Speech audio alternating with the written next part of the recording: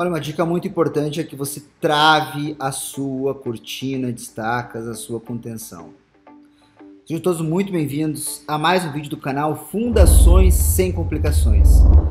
Olha, quando a gente não trava a nossa cortina de estacas, isso, o que é travar? O que é cortina de estacas? Bom, cortina de estacas é um tipo de estrutura de contenção que é feito para evitar problemas com os seus vizinhos, né? Então você faz lá uma parede de cortina de estacas, né, faz uma estrutura de contenção para evitar qualquer desbarrancamento, desmoronamento da tua dentro, dentro da sua obra, né, quando você faz uma escavação.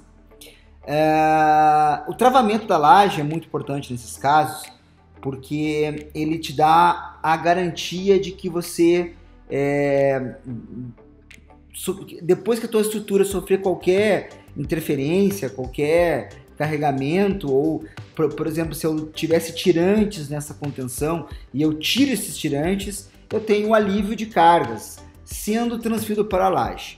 Por isso, a, a, o travamento com as lajes, né, nas, nas estruturas de contenção, ele é muito importante para garantir a, a, a, durabilidade, né, ou que eu não vá ter problemas na minha contenção futuramente.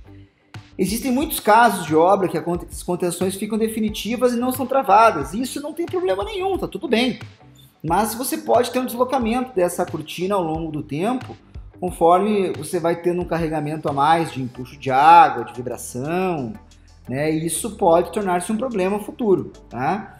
É, então, quando a gente tem a possibilidade de travar as nossas estruturas de contenção, isso é uma grande vantagem, isso é um, isso é um ponto muito positivo. Então veja, se na tua, etapa de projeto, está lá projetando, mencionando a sua obra, e existe a possibilidade de você descarregar, travar a sua laje nas suas estacas de contenção, faça isso.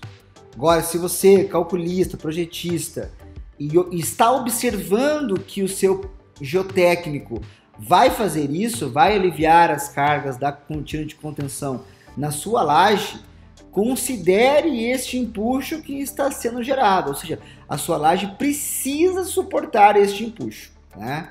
Nessa imagem aqui, então, a laje está sendo travada ali nas estacas né, para receber esse empuxo de carga. Legal? Espero que você tenha gostado de mais um vídeo aqui do canal Fundações Sem Complicações. Se você ainda não está inscrito no nosso canal, se inscreve, ative as notificações para que você possa receber todas as nossas informações, todos os nossos vídeos diariamente postados aqui no canal. Um grande beijo, um grande abraço, fique com Deus e até a próxima.